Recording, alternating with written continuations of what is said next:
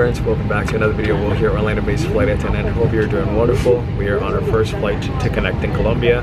We are flying with our friends at Spirit. Our flight time is roughly four hours. When we get to Colombia, I'm gonna give you more details about the trip. So for now, let's just enjoy the flight down to Colombia.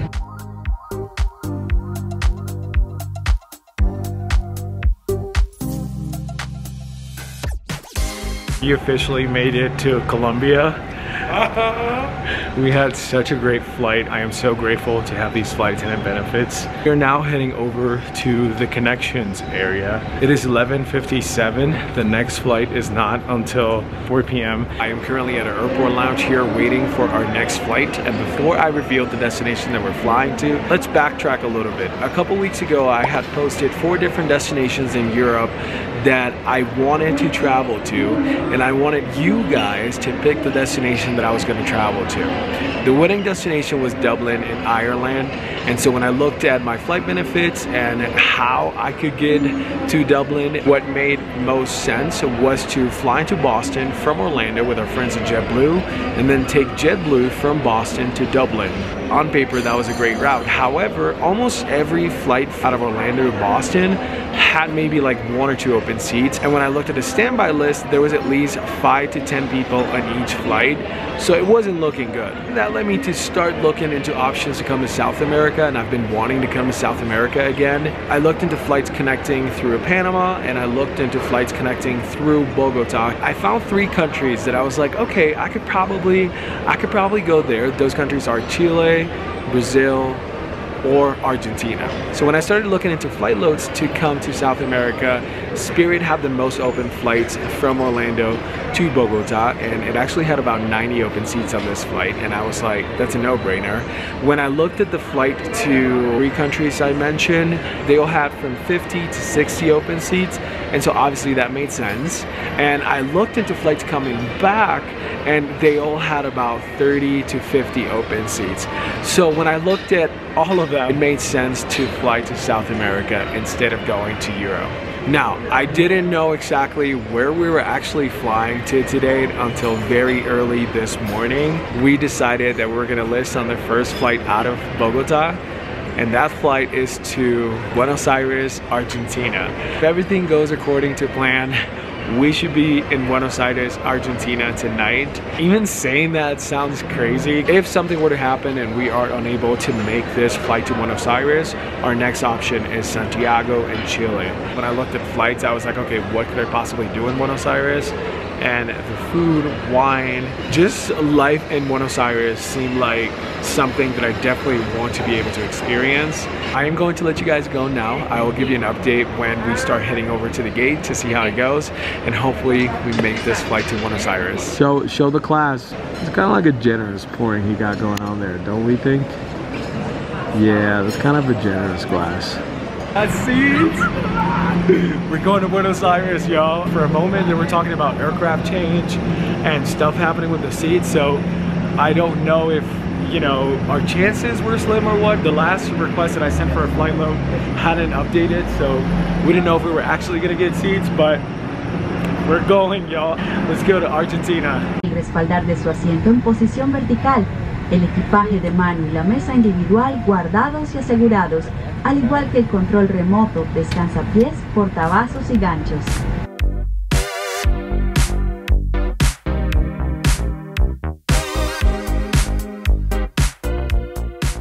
made it to Buenos Aires. It is close to 2 in the morning. I am very tired. I am ready to go to bed. We made it here to the Airbnb and right now the goal is just really to go to sleep and then just start fresh tomorrow. The flight from Bogota to Buenos Aires was close to six hours. I had a middle seat. Osvaldo and I actually got to sit together but I'm not made to to be sitting in a middle seat but I'm not gonna complain. I got a seat, the flight was actually full. I think they had downgraded, and so we were very lucky that we got seats, hence why we were so excited that we cleared the standby list. But I am very, very excited to be here. I can't believe it. Tomorrow, of course, we're gonna start day one here in beautiful Buenos Aires, and we'll continue on with the vacation. So for now, I'm going to say goodnight, and I'll see you tomorrow for another day.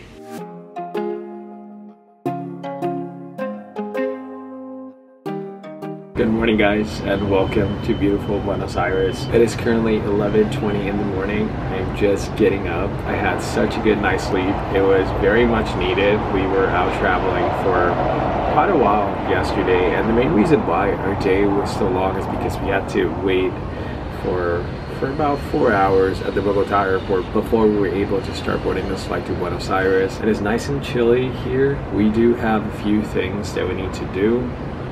I want to get water. I want to get some some stuff here for the Airbnb. Probably wondering like why Argentina, like why Buenos Aires. Well, number one, the flights coming here were pretty open, so that's the main reason why we decided to come here. It's music, tango, and food and wine and like Spanish, European architecture and rich cultural life that like really interests me. And so I was like, that's perfect. Why not go there? I can't believe that I'm here.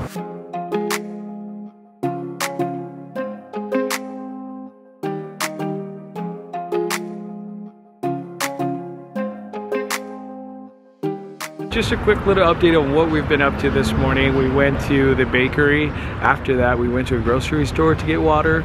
We walked back to the Airbnb to drop everything off. We're trying to find the store where you buy like the passes for public transit.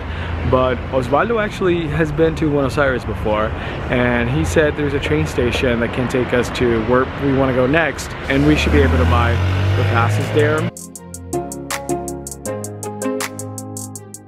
After many attempts of getting this part, we finally figured it out on our third attempt. And now we're just waiting here for the train. The next stop, or where we're going now, is to the Obelisco, and you'll see what it's all about. So let's go. How do you feel about being in Buenos Aires again? Súper emocionado. Estoy recorriendo las calles que había recorrido hace unos años con amistades, con gente que se convirtió en familia y hoy estoy de vuelta, eh, así que es una emoción.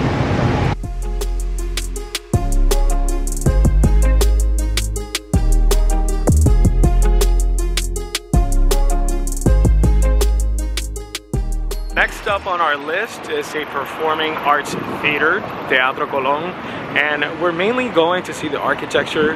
There's a lot of like European Spanish architecture here in Argentina, which we both really enjoy looking at. If you did not know, Buenos Aires is the birthplace of tango, so hopefully we can watch a tango show in the next couple days.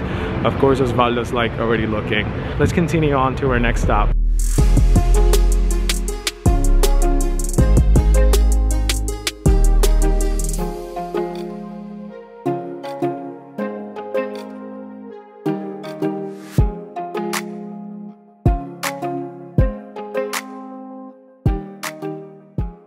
Los teatros están construidos de esta forma eh, alto, tipo el coliseo, que es lo que le llaman, porque en el teatro no se utilizaba micrófono, eh, sino que la gente hablaba alto a través de un diafragma eh, potente, hablaban, personificaban, y entonces el eco la resonaba y todo el mundo podía escuchar. Porque no, no existía la tecnología, o sea, la tecnología era la construcción que hacían para que se pudiera escuchar. Cheers to an amazing day.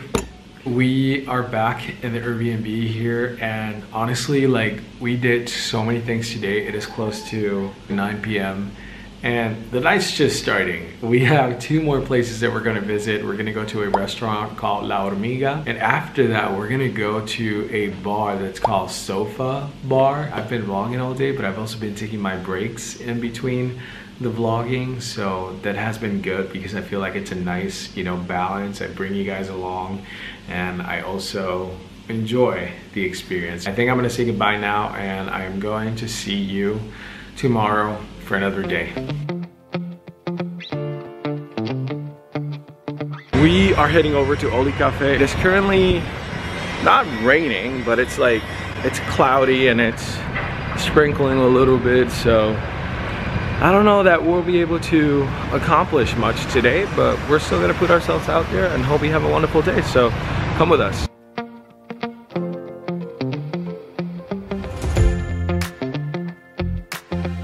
We are actually going to attempt to tour Teatro Colón, which you guys saw on the outside yesterday, but we're trying to actually see it inside. And we originally were not going to go inside, however, because it's raining and it is expected to rain in the next few days, we're trying to find things that we can do inside so that way we are able to maximize our time here in Buenos Aires. But yeah, I thought I'd come on here, give you that little update. Let's see we finally make it to the theater.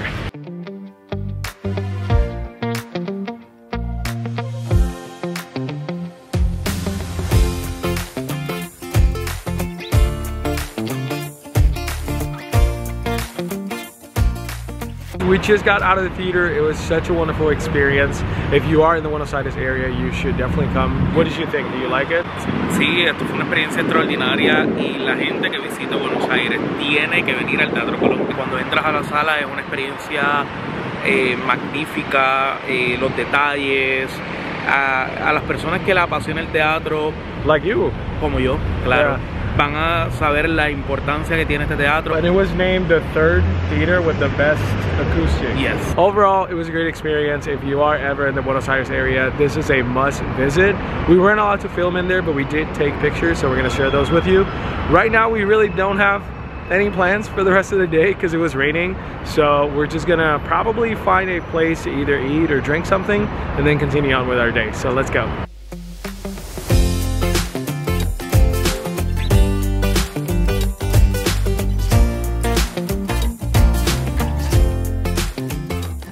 A lot later on the same day. It took us about an hour and some change to get here. We actually took a bus and we were all the way in La Boca, which is, I want to say like south, and then we came all the way like north northwest so it took us took us a long time. I wasn't feeling 100% earlier like I, I don't know if i had a weird reaction to something or what but like my face was all red and my ears were super warm and so decided to just stay in tonight. And it was also raining so there wasn't really much for us to do. I hope that you guys enjoy this day and we'll see you tomorrow for another day here in buenos aires. Good night. Welcome to another day. It is actually very cloudy. It was raining earlier. There were thunderstorms storms too, so we don't anticipate doing much. And I guess we knew in a way that yesterday and today were going to rain, so we kind of waited on the days that were going to be sunny to do the most things. However, we are still going out today. We don't have a lot on our agenda for today other than finding food and then going to see if we find something to do around the neighborhood that doesn't require to hop on a bus or the train. Let's see what we encounter today. Welcome to a lot later. We're here at a coffee shop called Bosta, and we're just enjoying a nice little cappuccino and we're waiting for our tattoo appointment. We already went to the tattoo shop, talked to the to the artist and they booked us for 2.30 so we have about maybe like another 25 minutes before we need to go there. This is something that I think Osvaldo and I, and I can speak for you on this, we always wanted um, we both have tattoos and we love tattoos and we decided that starting this trip we're gonna we're gonna start getting tattoos in, in, countries that we visit, whether we fly together or not. We just randomly saw a tattoo shop and we're like, let's just stop by. And yeah, we're gonna do it. As you know, I do have like 15, 16 tattoos, so I'd be adding to one of my arms. I'm very minimalist with tattoos, so I'm just gonna get something very tiny. Osvaldo has a friend um, that he's from here, and we're gonna be meeting with him later for dinner or drinks maybe. So dinner. So that's what we're doing today to get you know a little bit more chill. And then tomorrow and Sunday we have a lot, a lot of things to do on our list. See you guys in a little bit. just got back from the tattoo shop and then we went to a restaurant to have dinner. I actually didn't eat a lot, like we shared a plate because I wasn't feeling fully hungry and we're hanging out with Osvaldo's friend tonight.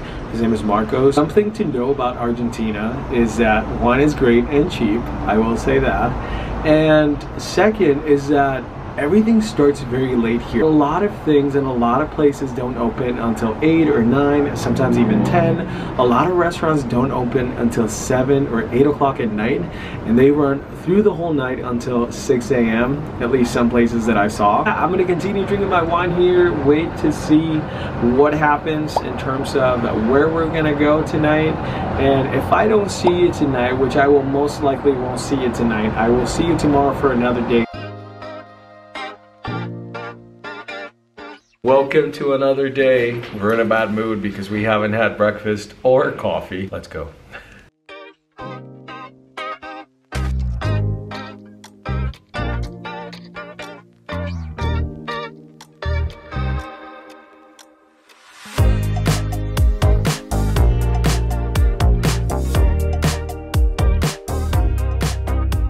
Now that we have coffee and food, we're doing a lot better. We are currently here at the Botanical Garden and we're just enjoying and walking around, learning about plants, seeing the different gardens. And it is actually cold today. We are going to continue walking around here and we have like three or four more things to do today. So don't go anywhere. We'll see you in a little bit. We are approaching the Japanese garden. We have to go to the entrance, to the main entrance to get tickets. I think we have to get tickets mm -hmm. for this one. We normally, honestly, on our trips, we usually don't buy tickets ahead of time. That's a blessing and a curse because that happened to us when we were in Rome and we weren't able to go to the Colosseum because we didn't buy the tickets when we were supposed to. Uh, we're kind of doing the same here, but I think we'll be fine. It looks incredible. So let's see if we're able to find tickets and hopefully we're able to walk around and see everything in there.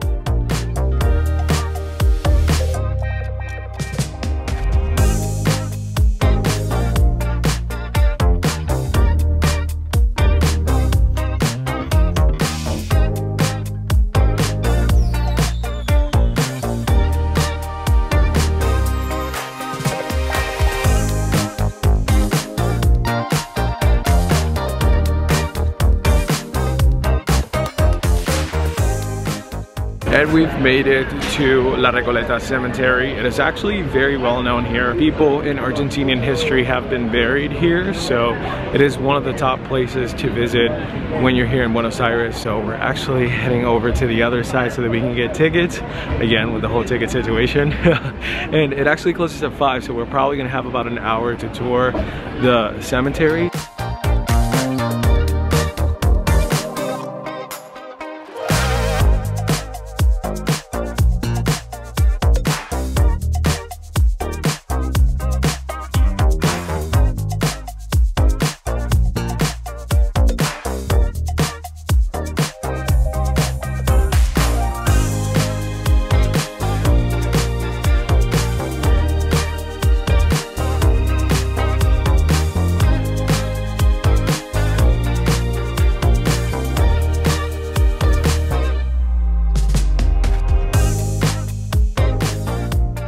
And the adventure continues. We are currently in Puerto Madero. We are going to watch a tango show tonight here in this area. So we figured it was best for us to just come here a bit earlier so that we can check the area out. I don't know if we'll be able to come back tomorrow. There's a lot of nightlife here, a lot of bars, restaurants, and it's just a really cool vibe overall.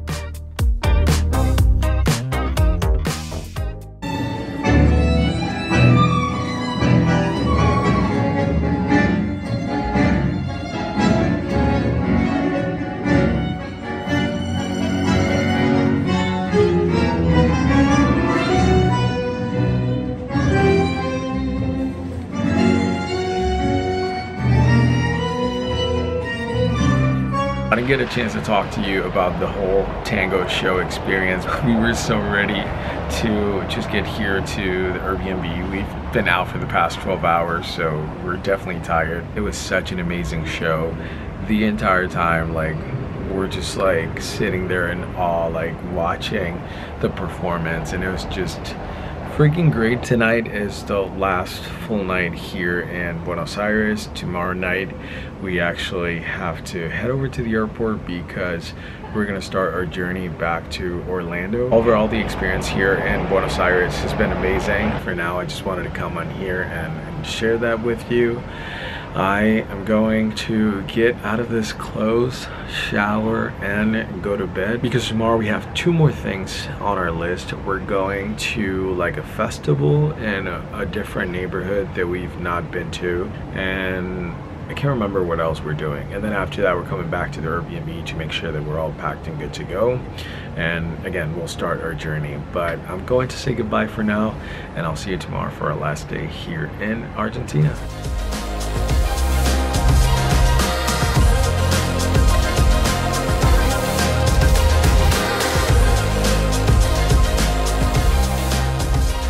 Hey friends, welcome to another day. We actually started very, very late today. It's close to 4.30 p.m.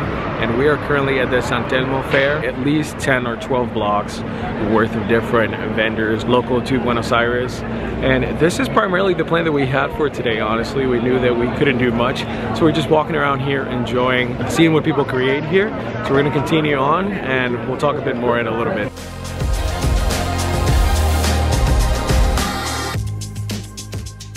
Welcome to a lot later. It is time to say goodbye to Buenos Aires, but I don't want to leave before saying a few things about this trip. As you know, I came here on vacation, and even though it seemed like I was not on vacation, most of my days started very late because that's how life is here. And my days ended up late, but again, I had pretty much all morning to sleep. Did feel a vacation in a way because I wasn't waking up early every day. Feel grateful that I had the opportunity to come here for a few days and learn about architecture, culture, politics, government, understand how lifestyle is here. I explore different methods of transportation. It feels so nice to just stay in one country for a few days and really understand how everything works here. I can honestly say that I fell in love with Buenos Aires and I don't think this will be my last time here. I am so grateful for this job that allows me to have these benefits to go and explore to other countries and you know just really see more of the world. My favorite part about being here in Buenos Aires was the neighborhood I stay in. I was in Palermo the whole time and there's so many restaurants and so many good coffee shops. I did notice that when you go towards like the Puerto Madero area or La Boca, those are more touristy neighborhoods, more expensive there. The way that we primarily moved around the city was using buses and the subway and from time to time we did Uber a few times. Even though we wanted to use local taxis, we didn't always had cash and I know a lot of them prefer cash rather than using cards so that's why we relied on Uber instead. Overall, I felt safe the whole time when I was here in Buenos Aires. Something you should know about Buenos Aires is that if you think New York doesn't sleep, just wait until you come here. I believe that's it. Just wanted to share those few things with you. We are all packed up ready to go. I think I am going to say goodbye now. We have a long night. we are flying from Buenos Aires to Bogota and then we are flying to Orlando. I am hoping that everything goes according to plan because if that's the case, we should be in Orlando tomorrow around 2 p.m. So we're basically gonna be flying all night. I am mentally prepared for that. I think I'm going to end things here. I just realized that it's probably loud because I am outside. So I apologize for that. But if you did enjoy coming to Argentina with me, go ahead and smash that like button. Also, don't forget to subscribe and I am going to see you next time for another adventure. Take care.